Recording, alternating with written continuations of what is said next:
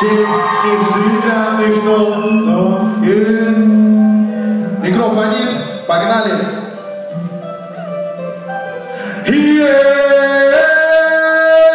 Как много несыгранных нот, только так и не написанных так и не слов, не спетых хитов, нами написанный стих, на никому неизвестный мотив, все то,